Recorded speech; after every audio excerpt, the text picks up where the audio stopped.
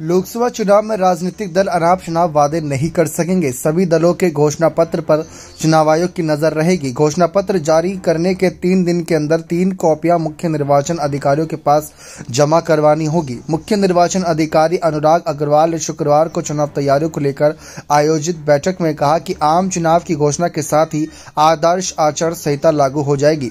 इसके बाद यदि किसी राजनीतिक दल को रैली या रोड शो करना है तो संबंधित जिला अथॉरिटी से अनुमति लेनी होगी।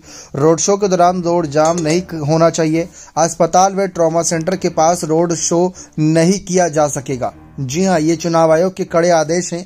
लोकसभा चुनाव 2024 को ध्यान में रखकर चुनाव आयोग काफ़ी सतर्क है और साथ ही साथ वह कुछ ऐसे फैसले ले रहा है जो पार्टियों की मुसीबतें बढ़ा सकता है। इसके अलावा रात 10 बजे से सुबह अगर देखा जाए तो 6 बजे तक लाउड स्पीकर का प्रयोग प्रतिबंधित रहेगा। मुख्य निर्वाचन अधिकारी ने बताया कि चुनाव के दौरान राजनीतिक दलों द्वारा किसी भी रेस्ट हाउस, डाक बंगलों और सरकारी भवन का प्रयोग नहीं किया जा सकेगा।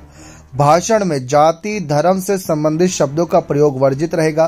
बैनर पर भी मंदिर, मस्जिद, गुरुद्वारा व चर्च की फ़ोटो का प्रयोग नहीं कर सकेंगे।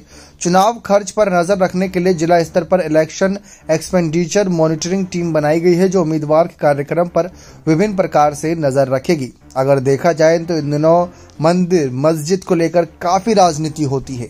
अगर चुनाव आयोग इस पर काबू पाता है तो काफ़ी हद तक लोकसभा चुनाव का माहौल बदला जा सकेगा। बने रहे चैनल के साथ बहुत बहुत धन्यवाद।